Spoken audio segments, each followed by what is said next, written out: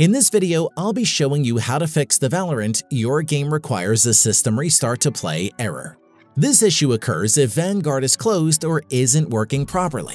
Start by pressing Windows key and R on your keyboard. Type services.msc, then hit enter. Scroll down and find the VGC service, this is Vanguard. Right-click and open the properties.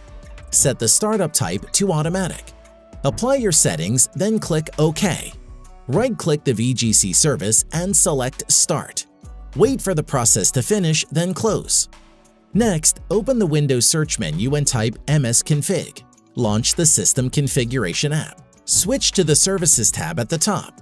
Enable the option to hide Microsoft services. Scroll to the bottom and locate the VGC option. Check the box to enable it, then apply and click OK. Restart your computer. Test Valorant.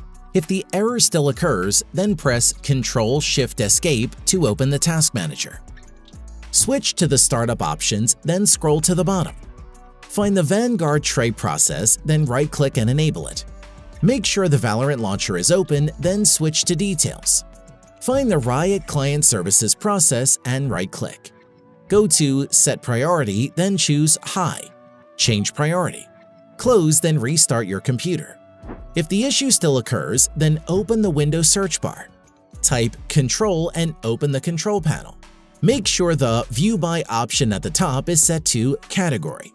Find the program heading and click Uninstall a program. Scroll down and find the Riot Vanguard software. Right-click and choose to uninstall. Confirm, then wait. Relaunch Valorant once Vanguard has been uninstalled. Vanguard will instantly be reinstalled. Restart your computer and the Valorant Your Game Requires a System Restart to Play error will be fixed. Please be sure to like the video if it helped.